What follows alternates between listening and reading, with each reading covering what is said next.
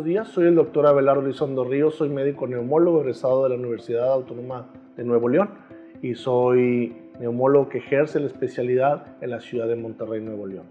El cáncer pulmonar tiene varias etapas dependiendo el grado de avance del tumor dentro del pulmón o fuera del pulmón. Y existen en general cuatro etapas que nosotros los clasificamos en base al grado de avance de la enfermedad.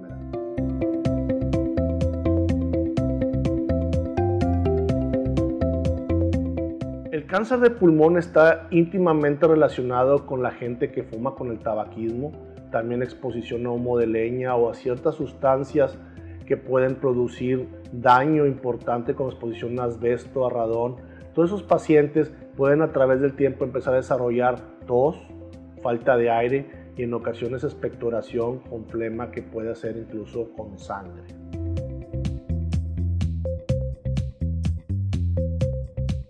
Desafortunadamente el cáncer de pulmón en nuestro medio, en nuestro país, el 80% de los tumores los detectamos ya en etapas avanzadas.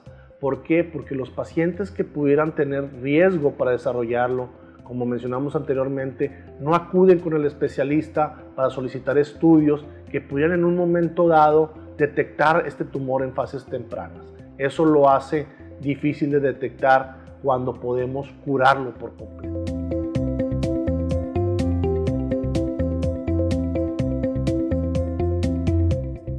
La mejor forma de prevenir el cáncer de pulmón es tratar de evitar la exposición a todas aquellas sustancias o a todos aquellos factores que pudieran precipitar el cáncer, como el tabaquismo, la exposición a, químicos que pudieran afectar también y aparecer el tumor asociado a, a, estas lesiones. Desafortunadamente el cáncer de pulmón es uno de los tumores más agresivos con los que, con los que lidiamos en el día a día y desafortunadamente si los, en, etapas avanzadas la mortalidad a 5 años es de un 85-90%.